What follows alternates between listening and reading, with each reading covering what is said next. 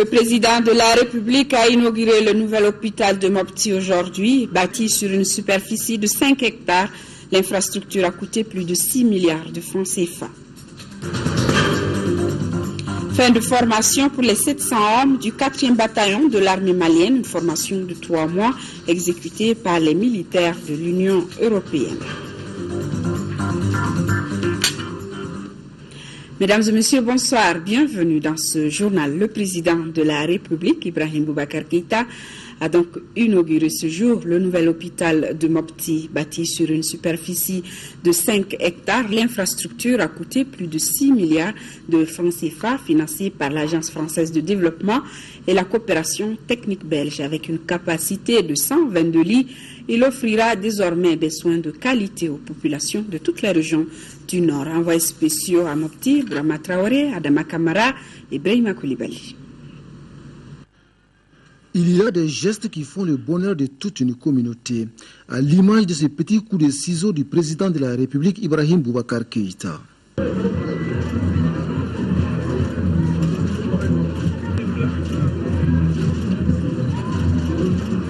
L'acte du chef de l'État consacre donc l'ouverture officielle du nouvel hôpital Somino Dolo de Mopti, un établissement de deuxième référence avec une capacité de 122 lits. Grâce à sa position stratégique située au centre du pays, le nouvel hôpital répond parfaitement aux besoins des malades. Désormais, nos malades de Kidal, Gao, Tombouctou, Mopti ne feront plus le trajet jusqu'à Bamako pour bénéficier des soins adéquats ou pour voir un spécialiste. Doté d'un plateau technique de dernière génération, l'hôpital Somino Dolo de Mopti a ouvert ses portes depuis octobre 2012. L'inauguration a été retardée suite aux événements de la même année. Par sa mise en service officielle, c'est le Mali qui est désormais debout. Notre présence aujourd'hui démontre que le Mali se relève après une période sombre de son histoire. Heureux parce que notre participation dans ce projet fait partie d'un effort conjoint, ensemble avec la France et le Mali. Heureux parce que l'hôpital Somino de l'eau est la pièce maîtresse de cette intervention tripartite commune qui va améliorer l'accès aux soins de santé de vos concitoyens dans cette partie du Mali. Le nouvel hôpital de Mopti a joué un grand rôle pendant la reconquête du nord du Mali. Il a surtout accueilli et assuré la prise en charge de 200 militaires blessés de guerre. Pour permettre à l'établissement de jouer davantage ses missions de service public, les partenaires du Mali restent plus que jamais mobilisés. À ce titre, il est important de préciser que l'Agence française de développement et le Royaume de Belgique ont financé la formation de six nouveaux spécialistes, dont cinq médecins et un pharmacien biologique. Deux autres en cours de formation sont attendus au cours de cette année. Il s'agit d'un pharmacien biologique et d'un médecin radiologue.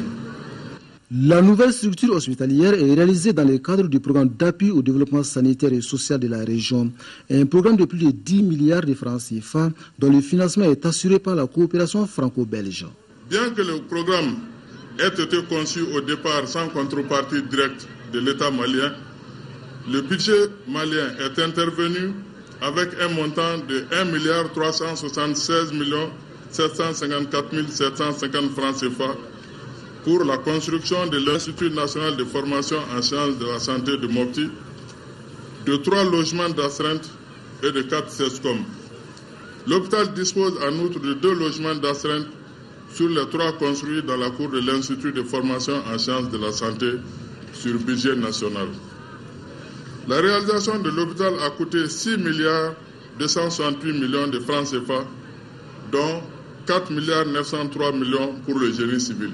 Pour valoriser et pérenniser les investissements, l'entretien doit être de rigueur sur lequel le président de la République a beaucoup insisté et entend veiller personnellement. On le voit ça et là dans nos villes, cet état d'immondice, cet état de saleté. On voit nos édifices publics, dès après l'inauguration, couverts de, de noir, de saleté, dû aux mains apposées. Il y a des on peut passer dans un couloir sans toucher le mur. On peut dans une salle sans toucher le mur. De grâce, le joyau qu'on nous offre là, que je reviendrai, Inch'Allah, visité dans le temps que je ne sais pas, je souhaiterais le retrouver aussi propre que à l'ouverture à laquelle nous allons procéder aujourd'hui. Donc, un bel outil entre nos mains, un bel objet de confort sanitaire, pourvu que nous, sachions l'entretenir. Et là, j'interpelle les autorités en charge également de la maintenance de l'hôpital, de la direction de l'hôpital. Je vous appelle à la plus grande fermeté par rapport à cela. Faites votre devoir par rapport à l'hygiène en les lieux où vous vous trouvez. C'est un des compléments absolument nécessaires et incontournables de votre métier. Là aussi, on sauve la vie. Avec l'ambition de devenir un hôpital de troisième référence, l'établissement se doit de renforcer ses équipes spécialisées et d'implanter de nouveaux services. Cette nouvelle infrastructure a été bien accueillie par les usagers aussi par le personnel sanitaire de la région de Mopti. Nos reporters ont tendu leur micro à certains d'entre eux. Je vous propose de les écouter. Entre sa résidence et l'hôpital Sominé Dolo, le président de la République, Ibrahim Boubacar Keïta, a eu droit ce mardi encore à un véritable bain de foule.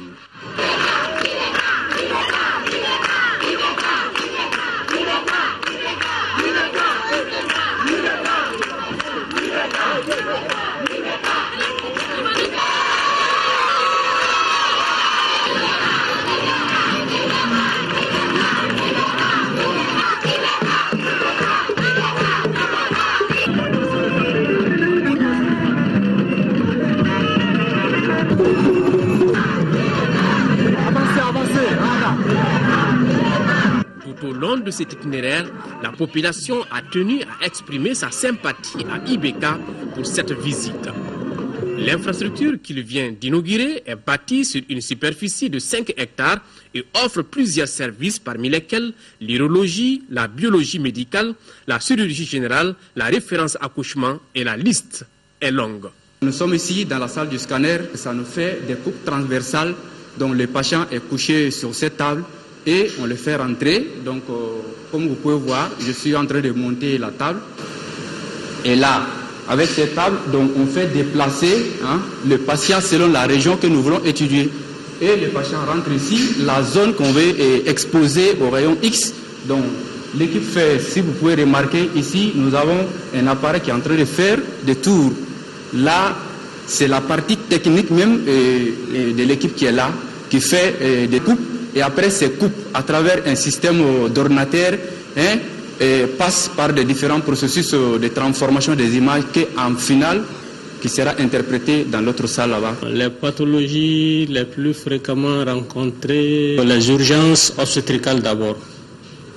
Donc les femmes qui viennent pour des difficultés d'accouchement, donc qui bénéficient soit de césarienne, soit de la parotomie pour rupture. Et la plupart des cas, ce sont des complications qui nous arrivent.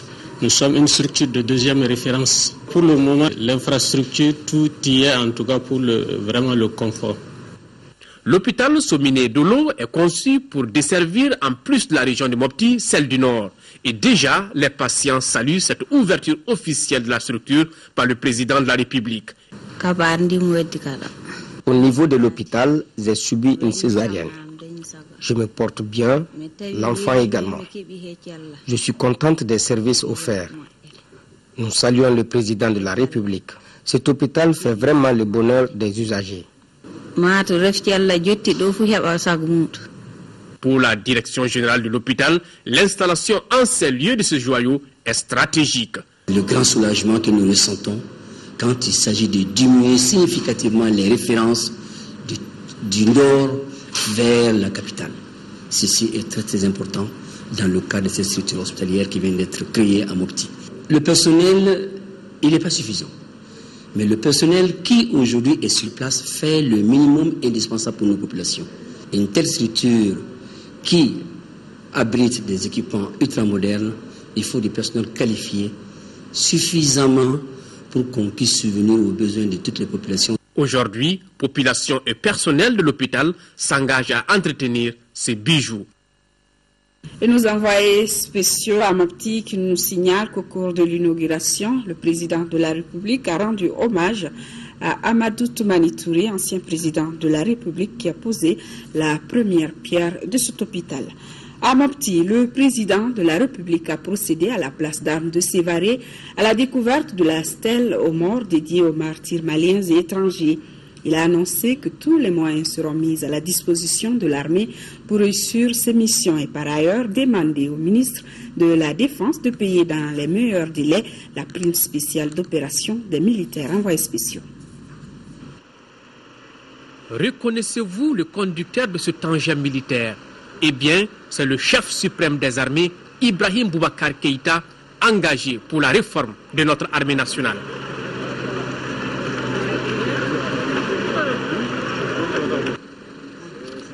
Quand je fus appelé aux affaires en 1994, ma première tâche a été de me rendre dans les casernes pour faire l'état un peu de la maison en termes de capacité nationale de défense, en termes de capacité de soutien de notre volonté de souveraineté à toute épreuve, l'exercice a été plus que révélateur. Il m'a montré dans quel état lamentable étaient nos forces armées de sécurité, combien était infrahumaine la situation faite aux militaires maliens. Quand j'ai vu l'état-major de l'armée de l'air, dans quelles conditions était le chef-major de cette arme, j'étais révolté. Cathy a été un autre moment fort. Lorsque j'ai vu les logements qui étaient ceux dévolus à ceux auxquels nous devons notre sommeil, notre tranquillité, notre sérénité et notre affichage de nations libres, debout et dignes. J'en ai référé à qui de droit, qui en a convenu avec moi, et c'est de là qu'est partie l'idée de la première loi de programmation militaire dans ce pays. Sévaré symbolise le sens retrouvé de l'honneur, du devoir et du sacrifice. Et c'est pour toutes ces raisons que cette localité reste stratégique dans la refondation de l'armée. Dans cette réorganisation, Sévaré est appelé à devenir notre principale plateforme logistique.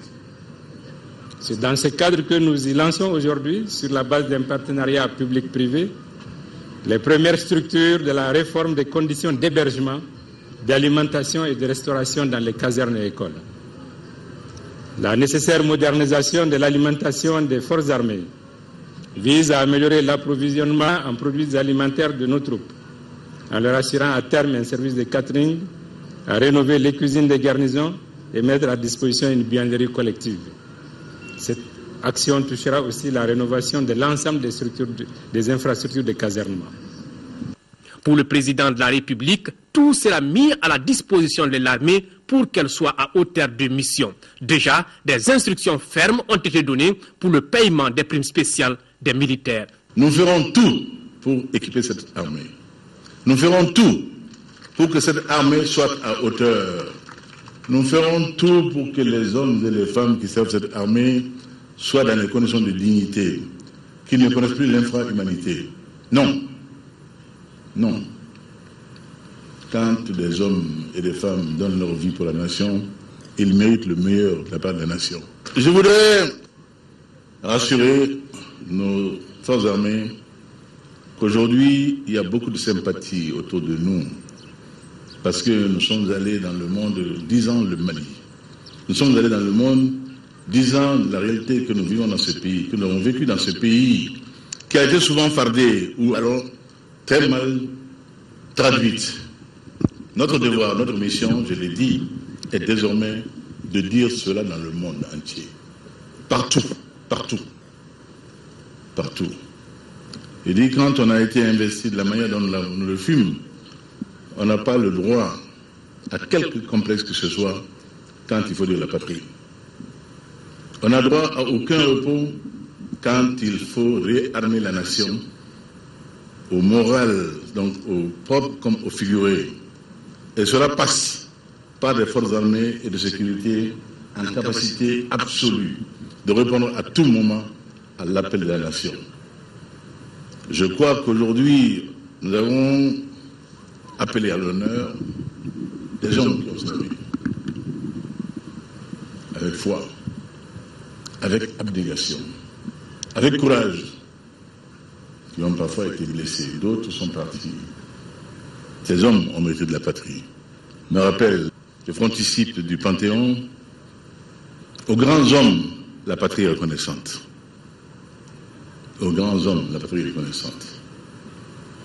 Chers officiers, chers sous-officiers, soldats endurants, je voudrais encore une fois vous dire tout le plaisir que j'ai à commencer mes tournées nationales par ça. Cette visite ici aujourd'hui à Sévaré, qui est le symbole même de la résistance nationale, de l'affirmation de la dignité malienne debout, libre et digne. Soldats, je vous exhorte, vous et vos chefs, à savoir que vous portez désormais le sort du Mali. Au nom du président de la République, le ministre de la Défense et des anciens combattants et le chef d'état-major général adjoint des armées ont décerné des médailles à 15 militaires le sacrifice consenti. Ibeka a également dévoilé la stèle dédiée aux morts maliens et étrangers qui se sont battus pour la libération de la patrie.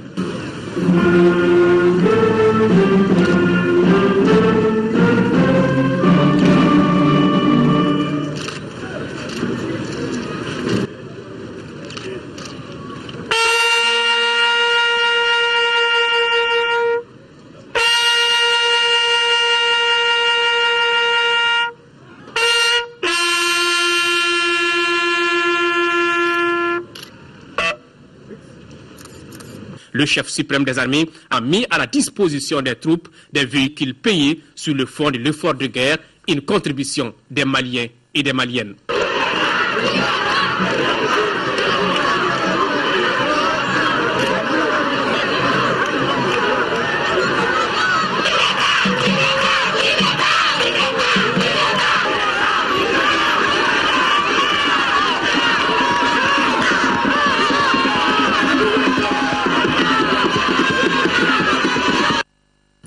Le Premier ministre a présidé, lui, à Koulikoro, la cérémonie de sortie du 4e bataillon de l'armée malienne formé par l'Union européenne. Ils sont 700 à suivre cette formation de trois mois. Brahima Kone. En présidant la cérémonie de sortie du 4e bataillon de l'armée malienne, formé par l'Union européenne, le Premier ministre effectue ainsi sa première visite à Koulikoro, ville historique.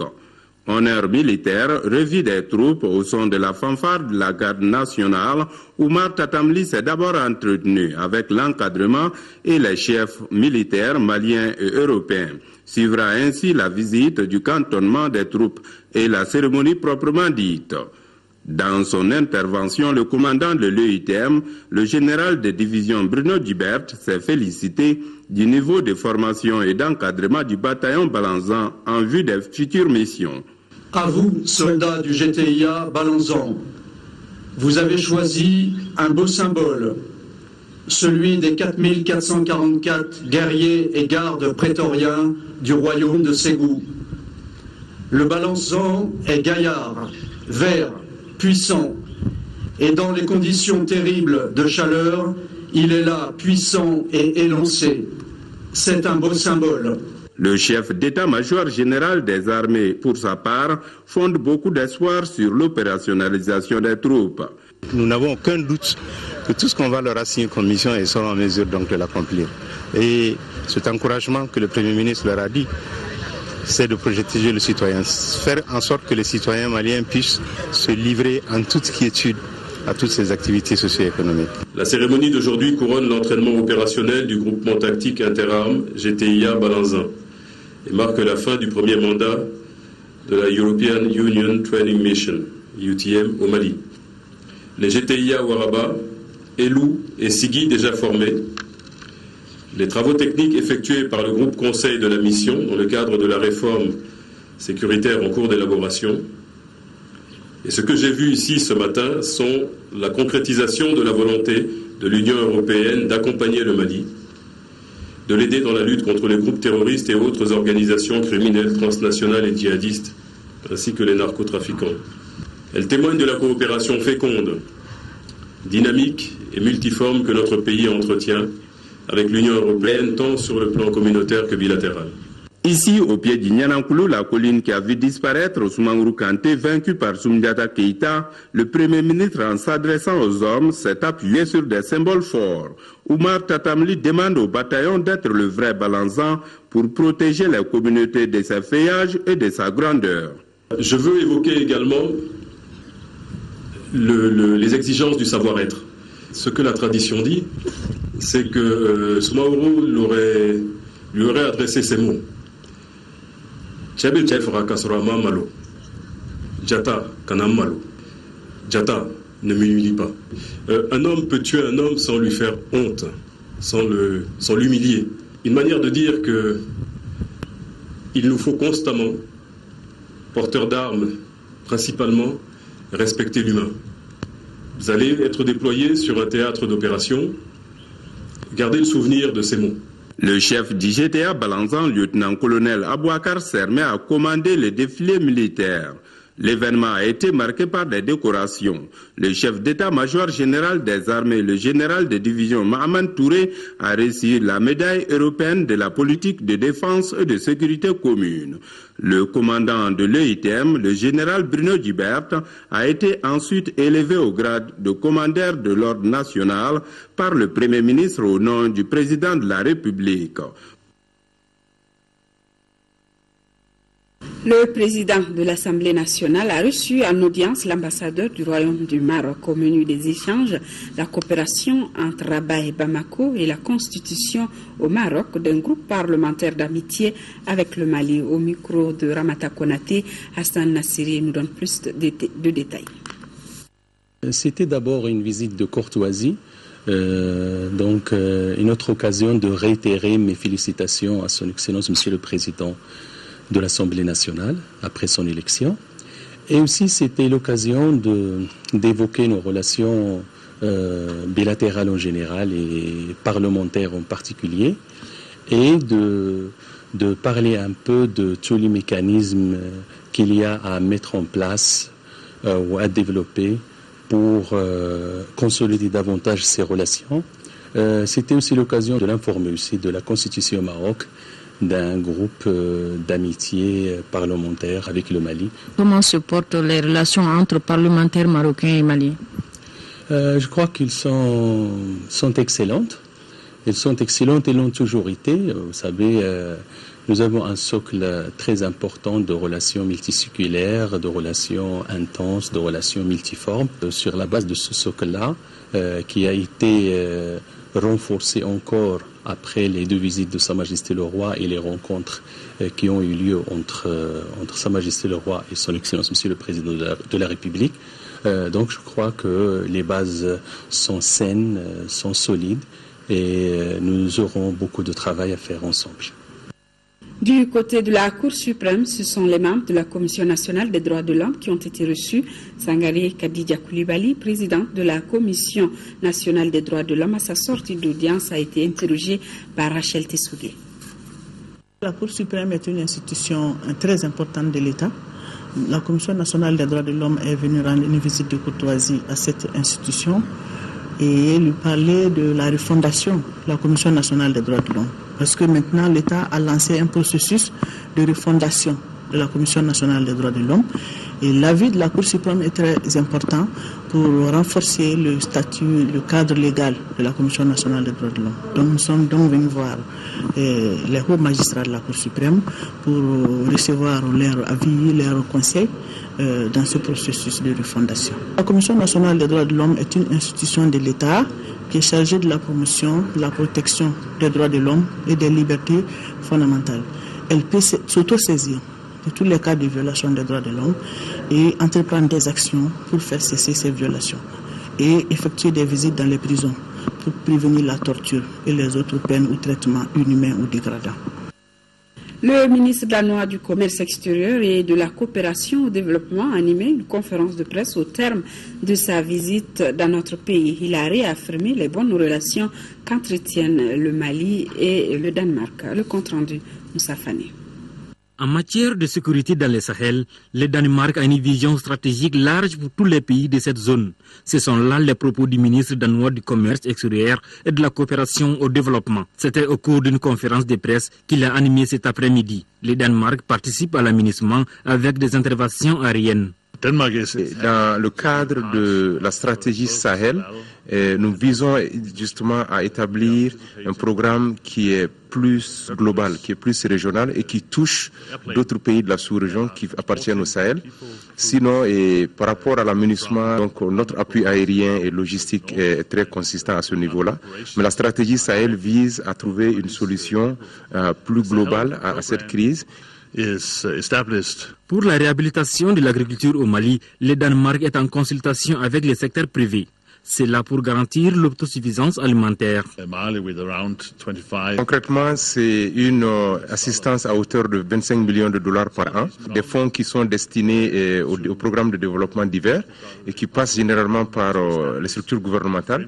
Mais en parallèle, nous avons également des consultations avec le secteur privé, notamment dans le cadre de la réhabilitation de l'agriculture, en vue d'une meilleure productivité pour que et, le Mali puisse se suffire et, sur le plan alimentaire. Les autorités danoises partagent également la vision du gouvernement par rapport aux questions des droits de l'homme et au processus de réconciliation nationale. Après trois jours de travaux, le 12e congrès statutaire de l'UNTM vient de s'achever. Un bureau consensuel de 49 membres dirigé par Yacouba Katile du Saint-Ad a été mis en place. Il a été élu avec 21 voix contre 15 face à Karim Diara du SINAPRO. Nous y reviendrons dans nos éditions de demain. Ce communiqué de presse, vernissage de l'exposition intitulé Les manuscrits de Tombouctou, c'était hier soir à l'Alliance éthio-française d'Addis Abeba, une exposition tirée du livre de Jean-Michel Dian, Les manuscrits de Tombouctou, paru en octobre 2012. L'expo est un véritable voyage à travers l'histoire de la cité des 333 saints. L'ambassadeur Boubacar Gourodjal, qui a assisté au vernissage, s'est réjoui de l'initiative et a profité de l'occasion pour annoncer que les travaux de reconstruction des mausolées ont démarré. À noter que ce vernissage est organisé dans le cadre de la semaine de la langue française et de la francophonie, une semaine qui met en avant la culture malienne puisque le couple Amadou et Marianne Dumbia se produiront se produira demain et jeudi dans le même cadre à Addis. C'est un billet de notre correspondant à Addis Abeba, Alassane Dembélé. Le gouvernement vient de mettre à la disposition des opérateurs économiques de Tombouctou 70 millions de francs CFA. 141 bénéficiaires victimes de la crise ont reçu chacun une somme de 500 000 francs CFA remboursables en deux ans. Cette opération dans le cadre de la troisième phase du projet d'appui aux commerçants d'Itaïen, ORTM Tombouctou et Yatandina. Ils sont au total 141 bénéficiaires composés de vendeuses et vendeurs de condiments, de légumes, de laitiers et autres évoluant dans l'informel à bénéficier de l'appui du ministère du Commerce. 500 000 francs CFA, c'est le montant alloué à chaque bénéficiaire et remboursable sur une durée de deux ans. Une action saluée par les opérateurs économiques locaux. Nous vous remercions pour l'appui octroyé à 141 de nos membres pour l'ensemble de la région. Mais cependant, nous rappelons que le commerce a été le secteur le plus touché à Tombouctou. Certains de nos camarades ont même fermé boutiques et magasins. Pour mettre en confiance les opérateurs économiques déplacés et favoriser le retour, l'État doit accorder aux régions occupées en général et à la région de Tombouctou en particulier un régime fiscal et douanier incitatif pour leur permettre de se relever. En remettant le chèque géant de 70 500 000 francs CFA, le ministre a invité les heureux bénéficiaires à faire bon usage. Dans le cadre de la troisième phase du projet d'appui aux commerçants détaillants, mon département a initié, en partenariat avec la Banque malienne de solidarité, le Fonds auto-renouvelable pour l'emploi et les centres de gestion agréés, une opération spéciale de financement des commerçants détaillants sinistrés.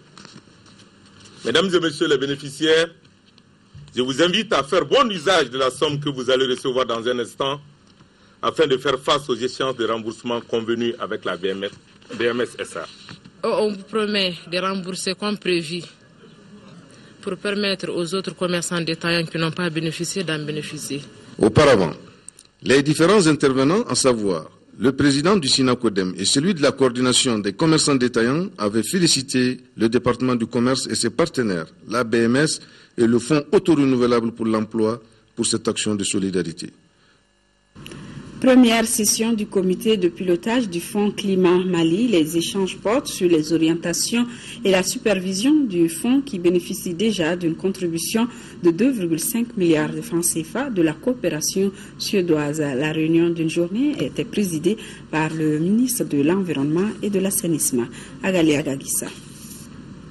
Dans le but de faire face de façon plus pérenne aux effets des changements climatiques, le gouvernement malien s'est doté d'un instrument financier appelé Fonds Climat Mali. Le comité de pilotage de ce fonds se réunit pour la première fois. Il s'agit au cours de cette rencontre de poser des bases de gestion et d'utilisation des ressources mobilisées dans ce cadre.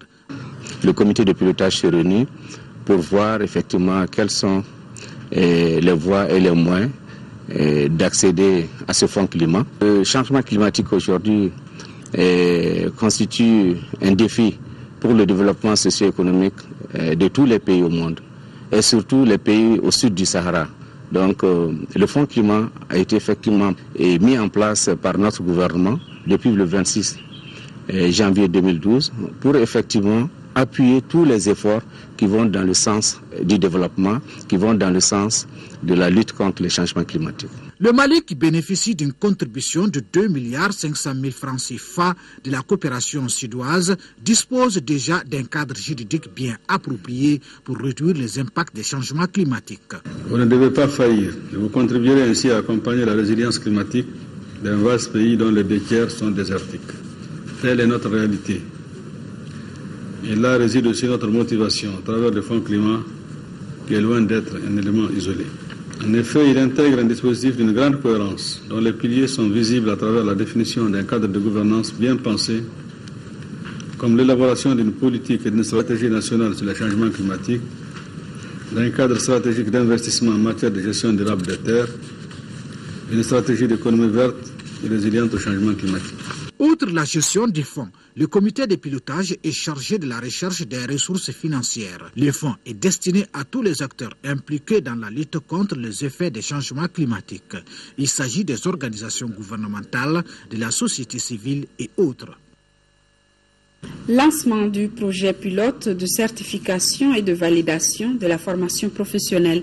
La cérémonie était présidée par le ministre de l'Emploi et de la formation professionnelle et ce projet est une initiative de la Direction nationale de la formation professionnelle, Lamine Keita. L'objectif de ce programme pilote qui vient d'être lancé, c'est la certification de 800 ouvriers dans les domaines de l'artisanat, du bâtiment et des travaux publics, de l'agro-silvio-pastoral et de l'hôtellerie. Si le ministère de l'Emploi et de la formation professionnelle s'engage dans ce processus-là à valider les référentiels de certification, on peut dire que c'est donner de la valeur aux centres de formation professionnelle et à leur programme de formation et aussi donner de la valeur aux produits qui sont issus de nos centres de formation professionnelle. Alors, la certification est un atout majeur dans le rôle de la formation professionnelle car ça permet plusieurs facteurs, l'insertion professionnelle, la transition professionnelle, donc l'évolution des gens qui sont en poste, mais aussi des personnes qui sont en recherche d'emploi par un système de validation des acquis de l'expérience pour justement trouver de l'emploi. Le département des tutelles jouera toute sa partition à assurer les ministres de l'Emploi et de la formation professionnelle, car la question de la certification est au centre des préoccupations du gouvernement. Notre pays a pendant longtemps privilégié la formation diplômante dans le système éducatif comme moyen unique de validation des qualifications professionnelles. Aujourd'hui, il apparaît plus que nécessaire de valoriser le savoir-faire professionnel par la certification et la validation des acquis de l'expérience qui prennent en compte l'évolution du monde du travail et permettent aux individus de faire face aux exigences de la mobilité. À ce titre, la certification et la validation des acquis de l'expérience sont un moyen privilégié dans la promotion de l'égalité des chances. Ce programme pilote a bénéficié de l'appui de la coopération française et luxembourgeoise. Le musée national à la conquête de nouveaux publics, il va pour cela réhabiliter deux de ses trois expositions permanentes et renforcer les programmes en direction du public, notamment les comptes et les visites scolaires. Plus de 380 millions seront investis dans ce sens. Daouda Sidiki cette session ordinaire du conseil d'administration du musée national vise à examiner les rapports d'activité et le point d'exécution du budget 2013. Au cours des travaux, il est aussi question de l'examen du projet de programme d'activité et le projet de budget 2014. Avec l'évolution de l'environnement, l'année 2014 augure de bonnes perspectives pour le musée national. Après une baisse considérable de ses recettes dues à la quasi-disparition du flux touristique et l'état d'urgence, cette structure va à la conquête de nouveaux publics. Pour ce faire, plus de 380 millions de francs CFA seront investis pour financer les activités programmées. Les activités programmées pour 2014 visent à améliorer la sécurité et les conditions de conservation des collections, mais aussi à améliorer la qualité des expositions et à les diversifier, condition indispensable pour conquérir de nouveaux publics. Ainsi, il est prévu la réhabilitation de deux des trois expositions permanentes et la reprise de l'exposition des grottes détruites l'année dernière par des vandales. Deux expositions temporaires sont également programmées. Les programmes en direction du public, comme les visites scolaires, les jeudis musicaux et les contes seront renforcés. Les activités de recherche seront poursuivies. La réalisation de ce programme qui traduit l'ambition de la direction et du personnel du musée national permettra d'obtenir des résultats importants en 2013. Les observateurs des droits de l'homme de la mission de l'Union africaine pour le Mali et le Sahel ont mené des enquêtes sur des crimes commis dans notre pays pendant la crise. La mission qui a tenu une conférence de presse est aussi intéressée aux conditions de détention des présumés coupables de crimes. Nous Sissoko. C'est une vingtaine d'observateurs venant de 13 pays qui constituent cette mission des droits de l'homme de l'Union africaine pour le Mali et le Sahel, Mi-Sahel. Ces observateurs ont la charge de mener des investigations sur les violations des droits de l'homme constatées pendant la période de crise. Ils ont été déployés dans les régions de Mopti, Tombouctou, Gao, Kidal, le district de Bamako et environ. Nous avons travaillé dans le domaine des droits de l'homme en général. Mais nous, nous avons axé nos efforts sur les questions des détentions et des prisons. Euh, nous avons axé nos efforts sur euh, euh, la question des personnes déplacées, des déplacés internes, la question des réfugiés. Mais nous avons surtout axé nos efforts sur la question des personnes poursuivies et autres. Enlèvement, disparition forcée, mutinerie sont entre autres violations enregistrées selon la mission. Il faut rendre justice. À partir du moment où des violations des droits de l'homme ont été identifiées, il faut pouvoir en identifier les auteurs.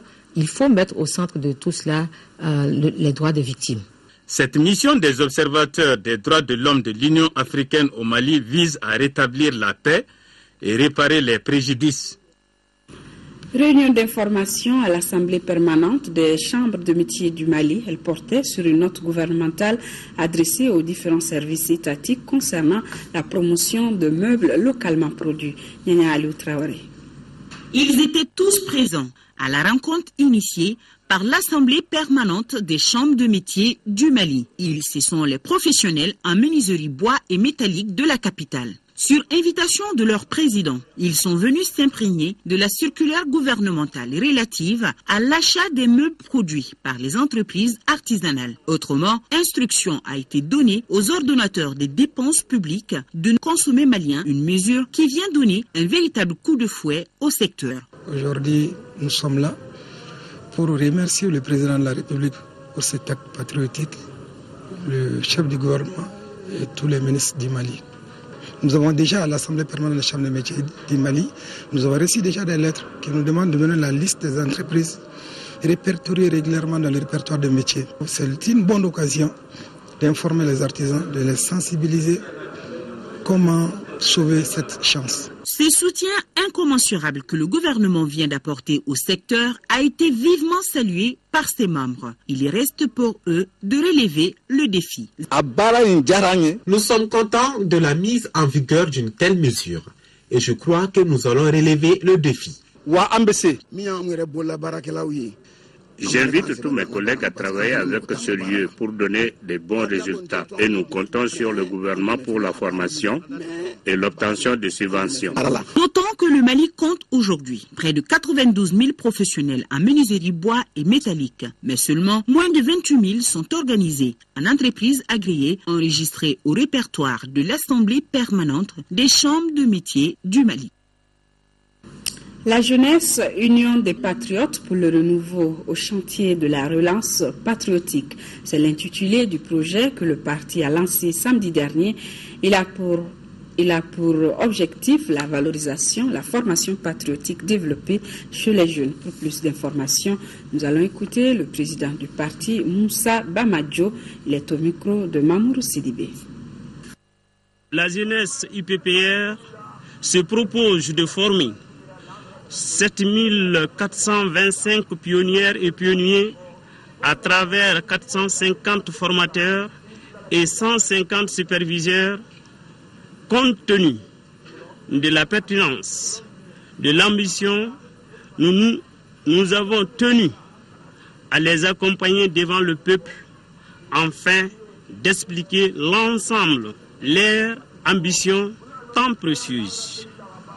La formation s'effectue dans 75 caps, dans 8 régions et le district de Bamako, avec 99 participants dans chaque cap.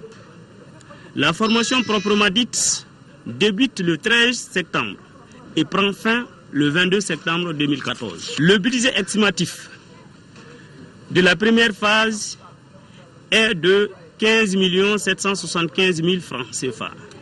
La deuxième phase a un budget estimatif de 383 millions 678 millions de francs CFA. Nous lançons un vibrant appel à tous nos partenaires techniques et financiers pour la réalisation de nos objectifs en première région, le pont de Macania, situé à une dizaine de kilomètres de Diamou, est ouvert au trafic.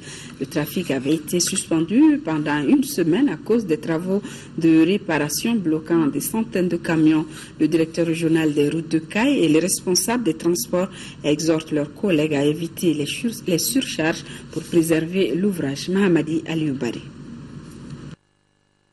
Le secteur tertiaire constitue un véritable facteur de développement d'un pays, surtout le transport. C'est ce qu'ont compris Diamond Ciment de Kamontri et le Conseil malien des transporteurs routiers de Caille en procédant à la restauration de deux joints dissociés du pont de Mokanya. En effet, ces deux parties du pont de Mokanya, situées à 10 km de Djamou, ont été endommagées par le gros porteurs qui viennent quotidiennement à l'usine de Kamontri, ce qui a entraîné l'arrêt total du trafic sur ce pont reliant Caille, Djamou, Bafoulabim pendant une semaine.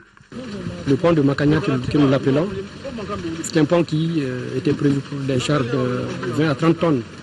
Aujourd'hui, avec euh, la route qui a été construite, on l'a senti ici sur euh, cette route nationale numéro 22.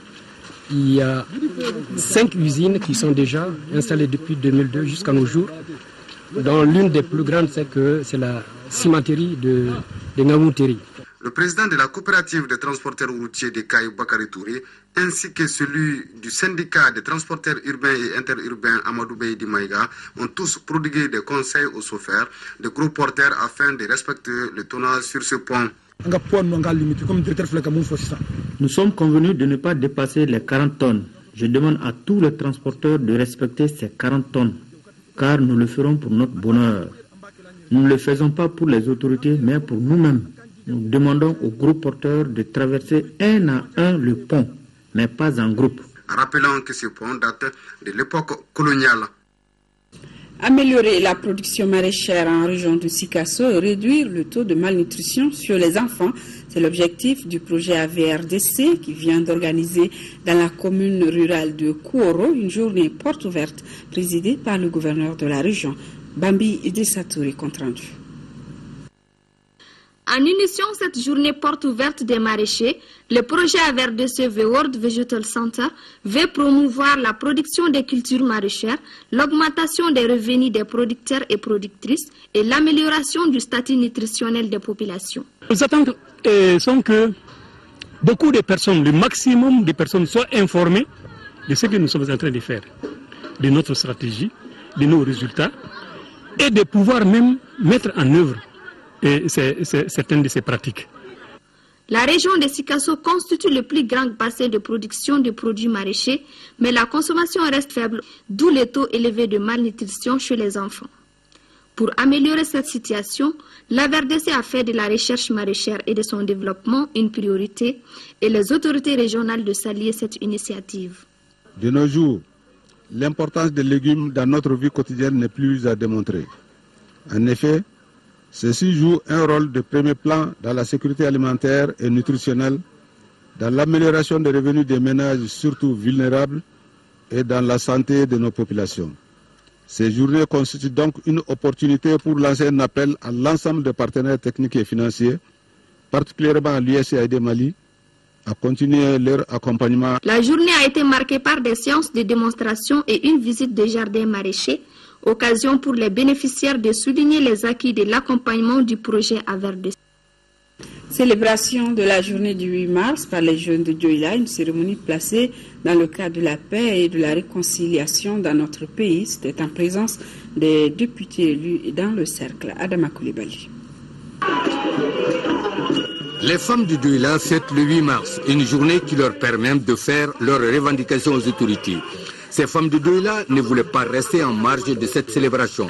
C'est pourquoi elles sont sorties ce dimanche après-midi, 16 mars, pour remercier leurs autorités politiques et administratives qui ont toujours marqué la volonté de leur restituer les droits qu'elles revendiquent. Depuis 1994, le Mali fête le 8 mars sur un thème et conformément aux préoccupations du moment.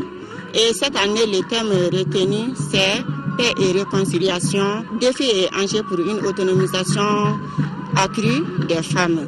C'était une occasion pour ces femmes de Banico d'exposer les produits de leur dur labeur devant les élus politiques et représentants de l'administration. L'homme d'abord dans un foyer, c'est pour accompagner la femme. On dit que ce que femme veut, Dieu le veut. Euh, mais dans ce contexte précis à Dieu là aussi, la journée, on l'a dédié vraiment à une journée de paix et de réconciliation dans notre pays. Sans la femme, il ne peut pas avoir une, réconciliation dans un pays. Les différentes interventions au cours de la cérémonie ont porté sur la cohésion entre femmes et hommes, main dans la main pour le développement local. Voilà, c'est la fin de ce journal. Demain à 10h et 13h, vous serez en compagnie de Kalidia Toukone. Je vous retrouve pour les éditions du soir. Merci.